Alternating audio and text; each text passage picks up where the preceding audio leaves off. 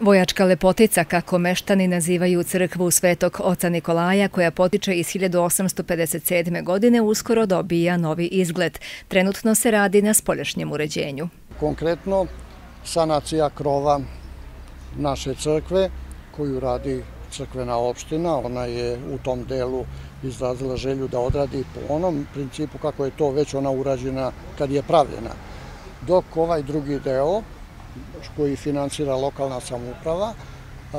Radi se o spoljašnjoj fasadi, a tako i unutrašnjoj, takođe i ograde porte i crkvene sale, to financira lokalna samouprava. Nakon pomenutih radova na jesen se u crkvi u Vojki planiraju radovi u unutrašnjosti.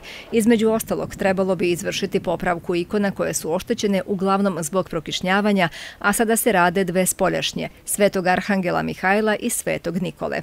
Nije svejedno raditi na platnu ili na zidu, kaže slikar Aca Perišić Picasso iz Zrenjanina, koji je ovu umetnost učio od ruskih ikonopisaca.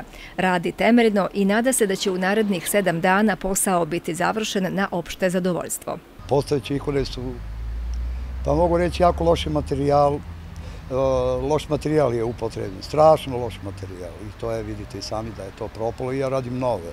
Vitek slikarske spoljne koristim, a i volim sam da izgletujem ikonu spoljnim gletom. Ne da mi drugi neki moleri to urade kako urade. Ja volim da sam temelj ikone bude dobar. Crkve su centralne građevine i zato lokalna samouprava brine o verskim objektima u svim naseljima opštine Stara Pazova. Nakon sanacije i popravke onih koje su bile jako oštećene ili čak nebezbedne po građane i vernike, sada se pažnja posvećuje estetskom izgledu.